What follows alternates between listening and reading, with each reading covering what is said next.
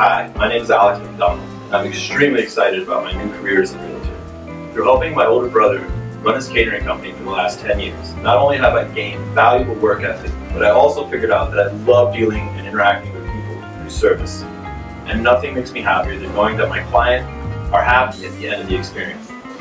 Although I am a new realtor, I have been involved in many deals, and I am very lucky to be surrounded by so many talented, experienced coworkers who are not only willing to provide their diligent guidance, but also enjoy doing it. Through my many years of community involvement, whether it was my experience coaching youth soccer or doing a beach cleanup, I've been given such an honor and opportunity to meet so many of the awesome people who live in South Florida. Thank you so much.